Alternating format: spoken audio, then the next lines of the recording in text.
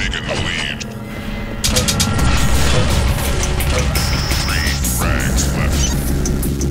Wenn es jemals einen heiligen Gral unter den Multiplayer 3D-Shootern gab, dann war das Quake 3 Arena.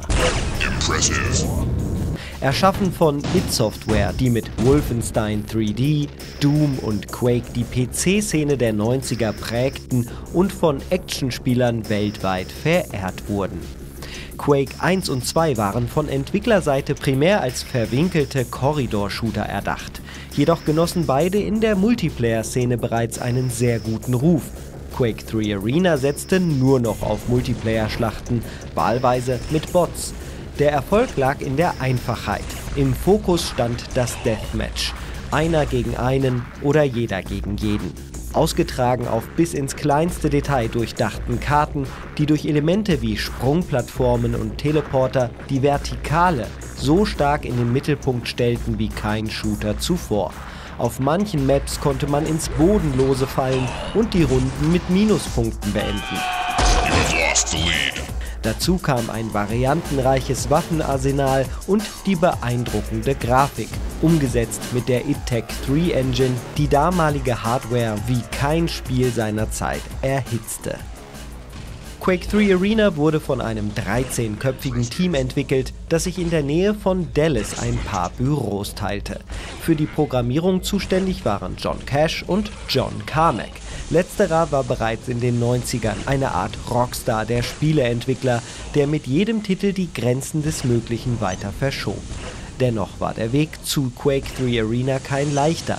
Auf das Ende 97 fertiggestellte Quake 2 sollte zunächst eine Erweiterung folgen, außerdem eine Art Quake 2 mit etwas besserer Grafik. Für Carmack war allerdings ein neuer Aufguss nicht genug, sowohl spielerisch als auch hinsichtlich der 3D-Engine. Und so verzog er sich Anfang 98 für eine Woche in ein Hotel in Florida, beschäftigte sich mit den neuen Engine-Technologien und kam zum seinerzeit radikalen Schluss, die nächste Grafik-Engine sollte ausschließlich hardwarebeschleunigt laufen.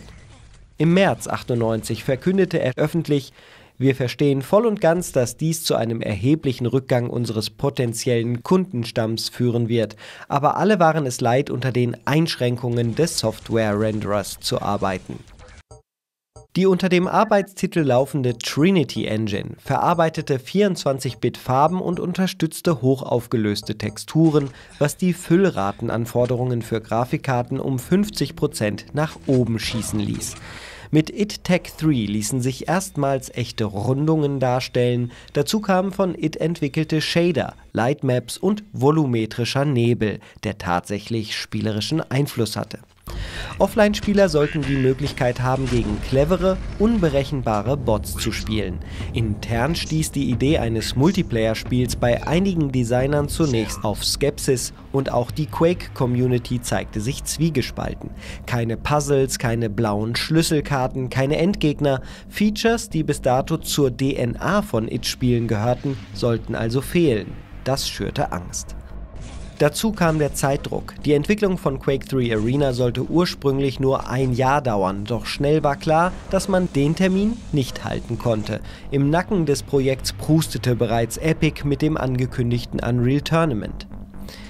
Die Bots sollten sich menschlich anfühlen und auch auf hohen Schwierigkeitsgraden nicht immer treffen, sondern in glaubwürdigen Toleranzbereichen auch mal daneben ballern.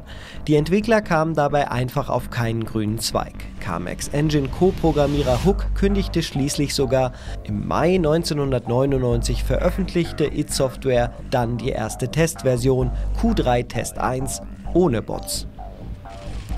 Die Hilfe kam schließlich von außen, in Person des jungen holländischen Studenten Jan-Paul Waveren, der ein Bot-Add-on für Quake 2 geschrieben hatte. Hit Software ließ Waveren einfliegen und heuerte ihn direkt an. In kurzer Zeit entwickelte er für jeden Bot eigene Eigenschaften und intelligente Bewegungssysteme, wodurch man auf damals übliche Laufwege mit vordefinierten Wegpunkten verzichten konnte. Den Bots konnte man außerdem über ein Chatsystem Befehle zuweisen, sie antworteten sogar und suggerierten so eine Art eigene Persönlichkeit. Quake 3 Arena. Quake 3 Arena erschien schließlich am 2. Dezember 1999, bestehend aus knapp 342.000 Zeilen Code.